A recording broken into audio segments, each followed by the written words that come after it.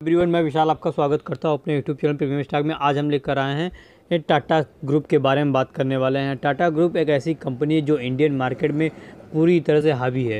Indian market पूरी तरह से हावी है। इस कंपनी के बारे में हम बात करेंगे टाटा ग्रुप से लेकर टाटा आईपीएल तक का, अब तक के सफ़र के बारे में हम बात करेंगे। हम टाटा ग्रुप के बारे में बात करें तो जितनी लोगों की उम्र नहीं होती है, उससे ज़्यादा टाटा ग्रुप में कंपनी शामिल है। लोगों की उम्र तो साठ, सत्तर, अस्सी साल होती है, मगर उससे ज़्यादा तो टाटा ग्रुप की कंपनियाँ हैं। टाटा ग्रुप की। आज हम उन्हीं कंपनियों के बारे में बात करेंगे, कंपनियाँ क्या हैं और कौन सी कंपनी है किस बेस पे काम कर रही हैं, इन सारी चीज़ों के बारे में बात करेंगे और उसके साथ साथ अब टाटा आईपीएल के बारे में भी बात करेंगे कि टाटा आई इस समय टाटा के पास कैसे आया, किसने प्राइस पर आया, इन सारी चीज़ों पर हम पूरी तरह से बात करते हैं। चलिए शुरू करते हैं। देखिए, हमारे पास ये है टाटा ग्रुप की वेबसाइट पे है हम। टाटा ग्रुप की वेबसाइट है, विकीपीडिया के द्वारा दिया गया है। ये देखिए, टाटा ग्रुप की वेबसाइट है, जिसमें टाटा का लोगो लगा हुआ है। अगर हम नीचे चलते हैं, इसके बारे में अगर हिस्ट्री के बारे में पूरी बात करें तो जो कंपनी है, पूरी तरह से प्राइवेट सेक्टर की कंपनी है। इसमें गवर्नमेंट का कोई इन्वायरमेंट नहीं है। अब तक की कंपनी की ईयर के बारे में बात करें तो कंपनी जो है, एक सौ चौवन साल की कंपनी अब तक हो गई है। कंपनी कंपनी की जो शुरुआत की गई थी, अठारह सौ अड़सठ में की गई थी। पहली बार। उसके जो जो सबसे पहले पहले फाउंडर थे, उसके क्या थे जमशेदजी टाटा थे, इसके फाउंडर और कंपनी का हेड क्वार्टर जो है बॉम्बे पहले बॉम्बे बोला जाता था, अब मुंबई हो गया है।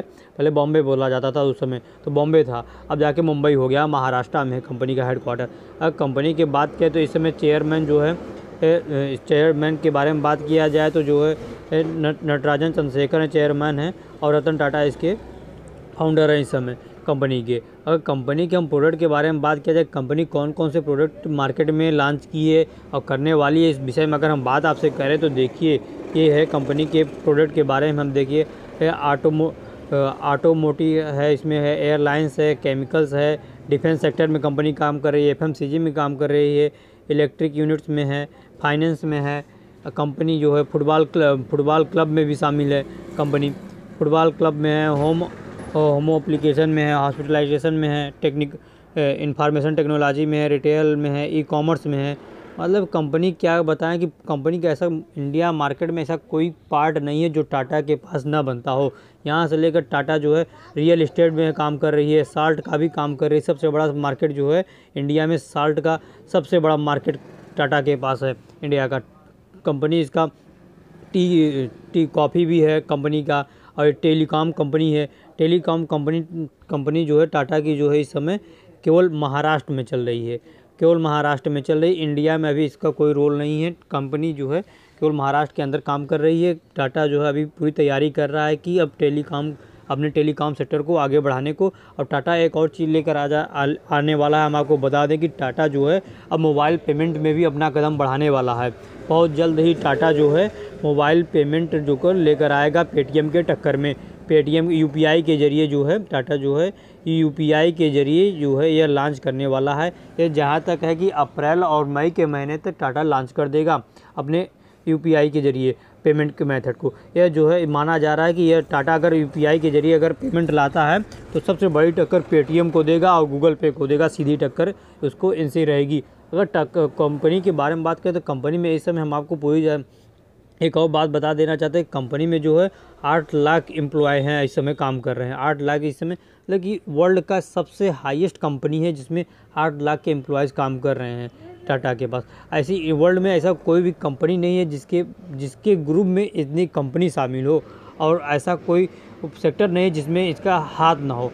जो सेक्टर कुछ कंपनियाँ तो शेयर मार्केट में लिस्ट है, लेकिन कुछ कुछ कंपनी जो है शेयर मार्केट में लिस्ट ही नहीं है, उनका कोई गिनती ही नहीं है। टाटा। टाटा जो है, आने वाले समय में सबसे दुनिया की सबसे लार्जेस्ट कंपनी बनने वाली है।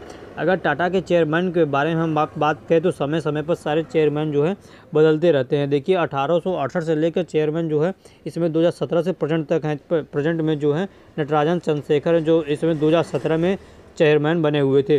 2017 से लेकर इस समय अभी कंटिन्यू भी चल रहे हैं। अब देखिए समय समय पर इसके चेयरमैन भी बदलते रहे हैं। टाटा ग्रुप जो टाटा सन्स के नाम से भी जाने जाती है। आपको बात जान लेनी चाहिए। हाल ही में टाटा ग्रुप में जो है टाटा एयरलाइंस भी शामिल हो गई थी। जो इसके पहले जो टाटा कंपनी जो टाटा के ही टाटा की ही थी, लेकिन गवर्नमेंट उसे अधिग्रहण कर लिया गया था। तो अब जो है टाटा में पूरी तरह से शामिल हो गई है इस कंपनी के। हाल ही में हमें आपको एक और चीज़ बता देना चाहते हैं कि जो है टाटा ने अभी जो है आईपीएल में कदम बढ़ा दिया है अपना। लोग आईपीएल में अपना टीम खरीदते हैं, मगर टाटा ने आईपीएल को ही खरीद लिया है। मतलब दो साल के लिए, ज़्यादा नहीं, केवल दो साल के लिए टाटा ने आईपीएल से जो है अपना इसमें स्पॉन्सरशिप ले लिया है। अगर इस बारे में बात करें तो कितना टाटा ने कितना पैसा दिया है, इस बारे में हम पूरी जानकारी आपको बताएँगे। ले चलते हैं हम आईपीएल के वेबसाइट के बारे में, उस बारे में हम आपको पूरी जानकारी बताने की कोशिश करेंगे। देखिए, टाटा जो है स्पॉन्सरशिप पूरी तरह से ले लिया है। देखिए, Tata IPL allowance 2022 2022 will be there the strong uptick of the title sponsorship value the next round of the आपके बारे में बता केवल दो साल के लिए लिया गया है। जो ये लिया गया है दो साल के लिए टाटा स्पॉन्सरशिप आईपीएल में लिया गया था। पहले जो, जैसे आप जानते होंगे, पहले जो बी आईपीएल हुआ करता था, अब उसके बाद अब जो है, टाटा आईपीएल के नाम से जाना जाएगा। टाटा आईपीएल। और टाटा आईपीएल के बारे में टाटा ने इस लिया थी इस बारे में हम आपको बता देना चाहते हैं, जब तक आईपीएल चलेगा, टाटा की सारी कंपनियाँ बहुत तेज़ी में देखने को मिलेगी। इसलिए कि लोगों के जवाब पे आ जाएगा, टाटा का नाम आ जाएगा। टाटा के बारे में लोग जानने की पूरी कोशिश करेंगे कि टाटा है क्या? टाटा का हर एक प्रोडक्ट यूज़ करने में कोशिश करेंगे। स्पॉन्सरशिप लोग इसीलिए लेते हैं कि उनका मार्केट कैप बढ़े।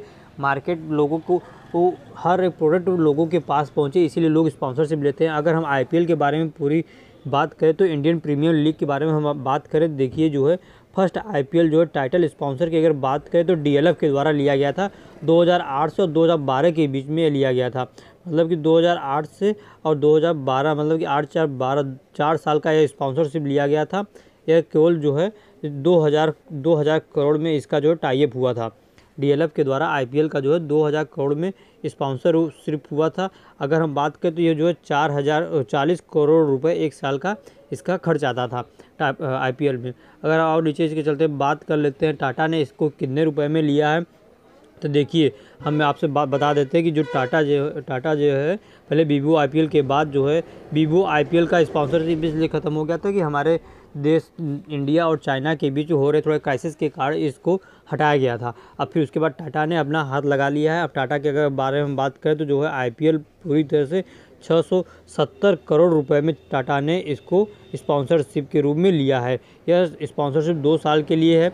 दो साल के लिए आपको बता देना चाहते हैं। दो साल के लिए जिसका एक साल का, एक साल के अगर पे आउट के बारे में बात करें तो एनुअल पे आउट जो है कंपनी जो 335 करोड़ रुपए की पे आउट कर रही है आईपीएल को। मतलब अगर टाटा जो है, आईपीएल को 335 करोड़ रुपए देगा एक साल के लिए, उसके बाद कंपनी जो है, दो साल में कंपनी का टाइप हुआ है। एक पहले साल 335 करोड़ देगा, फिर दूसरे साल 335 करोड़ देगा। पूरा मिला के कंपनी जो है छः सौ सत्तर छः सौ सत्तर करोड़ रुपए जो है टाटा इसमें आईपीएल में खर्च कर रही है। 670 करोड़ रुपए कोई छोटी रकम नहीं होती है। आईपीएल जब शुरुआत हुआ था, उसमें पहला जो है 200 करोड़ रुपए में कंपनी का डील हुआ था। मतलब कि एक साल के लिए कंपनी जो है 40 करोड़ की डिमांड कर रही थी, मगर आज जो है आईपीएल जो है एक साल के लिए 335 करोड़ रुपए का डिमांड कर रहा है। एक तरफ़ से देखा जाए तो कि आईपीएल भी एक बड़ी कंपनी के रूप में उभर कर निकल गई है। कम आई का डिमांड बहुत होने वाला है।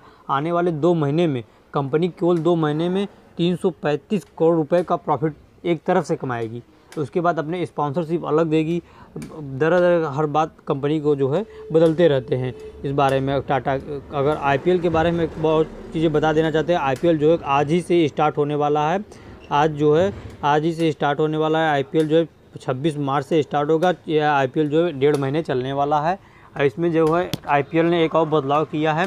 कि आईपीएल ने दो टीमों, दो टीम और बढ़ गई हैं, जिसमें से लखनऊ भी शामिल है एक बढ़ा दिया गया है। अब हाल ही में आज के जो मैच के बारे में हम आपको बता दें कि महेंद्र सिंह धोनी धोनी इस समय कप्तानी छोड़ चुके हैं। कप्तानी जो है रविचंद्र जडेजा को दे दिया गया है। इस बारे में आपको बता देना चाहते हैं। वीडियो में अगर जानकारी अच्छी लगी तो लाइक और सब्सक्राइब ज़रूर करें। धन्यवाद।